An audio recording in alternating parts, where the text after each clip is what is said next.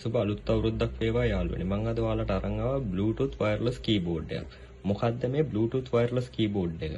මම ගොඩක් කට්ටිය අහන ප්‍රශ්නයක් තමයි නිකන් wireless එකයි Bluetooth wireless එකේ මොකද්ද තියෙන වෙනස කියලා. වෙනස තමයි ඔයාලට මේක කනෙක්ට් කරගන්න පුළුවන් ෆෝන් එකකට. ටැබ් එකකට හරි එහෙම නැත්නම් Windows computer එකකට ඔයාලගේ Bluetooth තියෙන ඕනම device එකකට මේක කනෙක්ට් කරගන්න පුළුවන්. දැන් අපේ normal wireless keyboard එක අපි USB මේ point එකක් ගහන්න ඕන එහෙම ගහලා තමයි මේ wireless කරන්නේ. දැන් මේකේ එහෙම ප්‍රශ්නයක් නැහැ. මේකේ තියෙන විශේෂත්වය තමයි ඒක.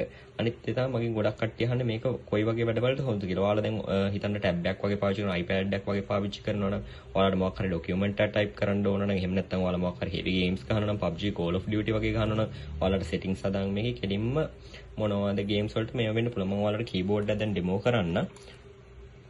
මේ තියෙන කීබෝඩ් එක ඔයාලට පේනවා Apple තියෙනවා Android තියෙනවා Windows තියෙනවා.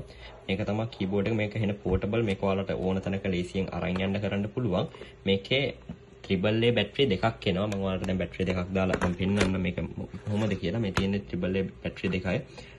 මේ තියෙන්නේ ඕෆ් ඔන් ස්විච් එක. මේක ඔයාලට ඕන නැතිවට ඕෆ් කරන්න පුළුවන්. මේ තියෙන කනෙක්ටිවිටි එක. කියන්නේ මේක පළවෙනි පාර කනෙක්ට් කරද්දි මේක ඔබන් ඉන්න ඕනේ. ඊට පස්සේ අහනවා මොකක්ද කෝඩ් එක කියලා. ඒක ගහලා මෙතන කෝඩ් එක ගහලා එන්ටර් එකේ බුවම මේ වෙනවා. දැන් ඔයාලට පේනවා මෙතන ලයිට් එකක්. මේ දැන් මෙයා කනෙක්ටිවිටි එක හොයනවා.